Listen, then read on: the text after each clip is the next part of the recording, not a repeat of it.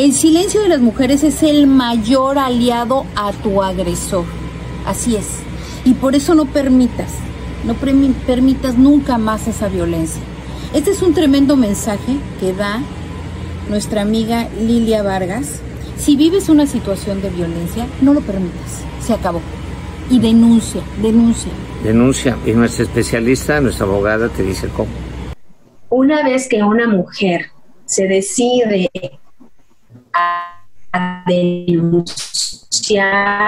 a presentar su querella en la Fiscalía o Tribunal Superior de Justicia, tiene toda la protección del Estado. Puede tener medidas de protección, medidas de restricción, lograr incluso que en la casa donde están haciendo vida en común, donde vive la, familia eh, derivada de un matrimonio, no importa que sea rentada, no importa que sea del hombre la casa. Si la mujer manifiesta haber vivido violencia, con órdenes de protección, el juez familiar o juez penal puede ordenar la salida de la agresión de manera inmediata de ese domicilio. Y dejar a la mujer y a los hijos en depósito, asignar pensión alimenticia y acordar lo, lo conducente respecto a la custodia. Licenciada, gracias por permitirme charlar contigo es muy aleccionador para las mujeres que nos están escuchando y para los hombres también, que no crean que, su violencia puede seguir y continuar sin castigo, ni mucho menos. Y en primer lugar, que dejen de hacerlo y en segundo, que se tengan a las consecuencias.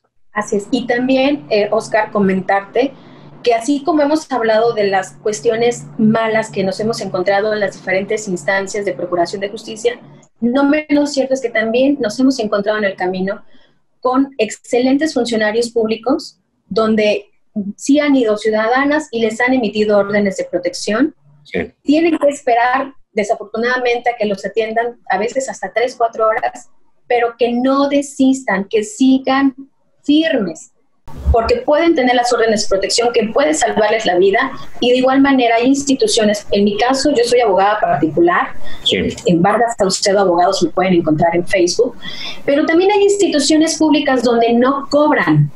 El Poder Judicial da asesorías jurídicas gratuitas y no solamente eso, también les lleva sus juicios de manera gratuita. La, la, Fiscalía tampoco no cobra por sus servicios y les asignan un asesor jurídico sin tener que pagar.